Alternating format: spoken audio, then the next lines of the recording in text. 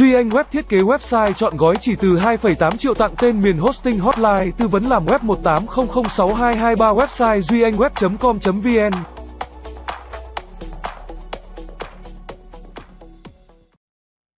Ho lâu ngày mãi không khỏi phải làm sao, thời tiết giao mùa cũng là lúc sức khỏe con người có những biểu hiện thay đổi để phản ứng với sự thay đổi của môi trường. Lúc này nhiều người có thể sẽ xuất hiện những cơn đau đầu, hắt hơi, sổ mũi, cảm cúm hay thậm chí là ho, tình trạng ho có thể hết sau khi điều trị. Nhưng cũng có những trường hợp ho lâu ngày không khỏi, người bệnh cần đi khám và tìm hiểu rõ nguyên nhân để được điều trị đúng cách.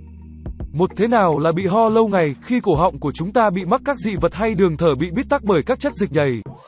Đờm do bệnh lý phế quản, cảm cúm gây nên thì sẽ xuất hiện triệu chứng ho nhằm đẩy mạnh các dị vật đó ra khỏi cơ thể. Hoặc ho cũng có thể là biểu hiện của bệnh lý khác, việc ho lâu ngày là tình trạng ho dai dẳng không khỏi tái diễn trong nhiều ngày.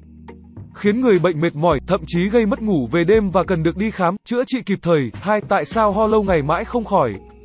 Ho do thói quen hút thuốc, những người hút thuốc lá, thuốc lào lâu năm và ngay cả những người hút thuốc thụ động không trực tiếp hút thuốc nhưng hàng ngày tiếp xúc nhiều với khói thuốc do người khác hút cũng có thể bị mắc bệnh về phổi và gây ho nhiều. Viêm xoang, chứng viêm xoang mạn tính khiến mũi họng tiết nhiều dịch, dịch thông qua thành họng chảy xuống sẽ kích thích phản xạ ho. Nếu không có biện pháp điều trị ho sẽ kéo dài không khỏi, trào ngược dạ dày, axit trong dạ dày khi bị trào ngược lên thực quản sẽ gây ợ hơi. Ợ nóng, ợ chua lâu ngày dẫn đến tổn thương niêm mạc thực quản, viêm họng và khiến bệnh nhân bị ho, hen phế quản. Hen có thể gây ho và thường phát bệnh theo mùa hoặc tiếp xúc với không khí lạnh khi đường hô hấp bị nhiễm khuẩn hoặc hít phải những hóa chất gây kích ứng. Viêm phế quản, đây là một trong những nguyên nhân gây nên biểu hiện ho rõ rệt, ho lâu ngày không khỏi, có thể khiến phế quản sung huyết. Khó khăn khi thở, do tác dụng phụ của các loại thuốc như thuốc hạ huyết áp, nhóm thuốc ức chế men chuyển có thể sẽ gây nên tình trạng ho khan ở người bệnh. Triệu chứng ho lâu ngày sẽ hết khi người bệnh ngưng sử dụng thuốc ba đọc vị các triệu chứng ho, ho khan không dứt.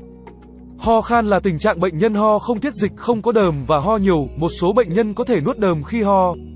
Nếu biểu hiện này xảy ra lâu ngày bệnh nhân cần đi khám vì có thể bị mắc các bệnh liên quan đến viêm thanh quản, ho có đờm. Trái với ho khan, ho xuất hiện đờm là khi bệnh nhân ho có khạc ra chất nhầy ở cổ họng, cảm thấy nặng ngực mệt mỏi. Khó thở, ho có đờm có thể là triệu chứng của nhiễm trùng, viêm họng, ung thư vòm họng, thực quản, thanh quản, khí quản.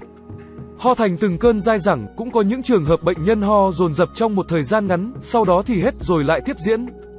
Đó là ho thành từng cơn và hay gặp ở triệu chứng ho gà khi ho Duy Anh Web liên tục khai giảng khóa học bán hàng online đa kênh 4.0 cầm tay chỉ việc một kèm một hotline tư vấn khóa học 18006223 website duyanhweb.edu.vn. Kéo dài không dứt sẽ làm tăng áp lực lồng ngực ứ huyết tĩnh mạch chủ và khiến tĩnh mạch ở cổ phồng lên gây đỏ mặt. Đỏ cổ họng, ho nhiều cũng khiến bệnh nhân bị đau đầu, choáng váng, chảy nước mắt và thậm chí buồn nôn, tức ngực. Đau thắt bụng do bị co bóp dồn dập lâu ngày, ho ra máu, đối với trường hợp ho ra máu có thể là triệu chứng của các bệnh như ung thư phổi hoặc viêm phổi cấp. Viêm phổi mạn tính, ngoài ra đây cũng là biểu hiện của bệnh lao, nếu đi kèm với ho lâu ngày, sụt cân, sốt nhẹ về chiều. 4. Sử dụng thuốc trị ho cần lưu ý những gì? Khi điều trị ho kéo dài bằng thuốc, người bệnh cần lưu ý một số điều dưới đây. Đối với thuốc có tác dụng làm giảm cơn ho và được kê cho trường hợp ho khan sẽ không dùng được cho trường hợp bệnh nhân ho có đờm hoặc có biểu hiện của suy hô hấp.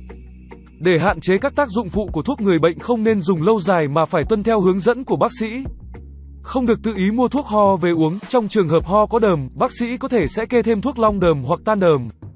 Không dùng kết hợp thuốc trị ho và thuốc long đờm vì khi đó đờm tiết nhiều hơn trong khi bệnh nhân giảm ho sẽ không thể khạc đờm ra được. Buổi tối trước khi đi ngủ không nên sử dụng thuốc long đờm vào thời gian này do khi ngủ, nhung mao ở niêm mạc phế quản sẽ hoạt động ít hơn ban ngày. Và tư thế nằm sẽ khiến cho đờm ứ động trong họng. 5. Biện pháp phòng ho tái phát tránh xa khói thuốc kể cả hút thuốc chủ động lẫn thụ động do đây là nguyên nhân chính phá hủy lá phổi và khiến người bệnh ho lâu ngày không khỏi. Hạn chế tiếp xúc các tác nhân gây kích ứng hoặc dị ứng như thay đổi thời tiết, giữ ấm cơ thể đặc biệt là cổ họng khi đi ra ngoài khi trời gió lạnh. Ra vào phòng điều hòa hoặc nằm ngủ trong phòng điều hòa quá lâu dưới nhiệt độ thấp che chắn bằng khẩu trang khi đi ngoài đường hoặc dọn dẹp nhà cửa nhiều bụi bẩn. Thậm chí khi tiếp xúc với vật nuôi khi bạn bị dị ứng đối với lông thú cưng, không ăn uống quá nhiều những chất kích thích hay đồ cay nóng. Đồ chua gây kích thích dạ dày dẫn tới trào ngược tăng cường tập luyện thể dục thể thao để nâng cao sức khỏe. Phòng tránh sự xâm nhập của virus, vi khuẩn có hại cho đường hô hấp tiêm vaccine phòng cúm, nhiễm khuẩn đường hô hô hoặc ngừa viêm phổi theo hướng dẫn của bác sĩ. Trên đây là những thông tin về triệu chứng ho lâu ngày bạn đọc có thể tham khảo để có cơ sở cho những biểu hiện ho mà mình mắc phải. Nếu xuất hiện triệu chứng ho lâu ngày không khỏi, người bệnh nên đến các cơ sở y tế để khám bác sĩ và được điều trị đúng cách. Đồng thời có thể giúp phát hiện ra các bệnh lý nặng từ sớm và giúp chữa khỏi dứt điểm chứng ho lâu ngày phiền toái này.